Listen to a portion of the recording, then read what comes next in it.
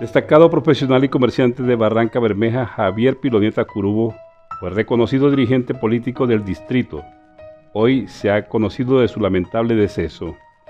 En las últimas elecciones locales fue precandidato a la alcaldía y buscó para ello el aval del Centro Democrático, aval que en últimas esa colectividad no le entregó.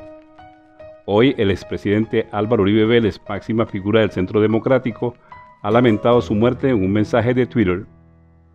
Vale decir que Piloneta Curubo dio una de sus últimas luchas participando del debate en su única condición de ciudadano de lo que hoy es la ya aprobada ley de regalías.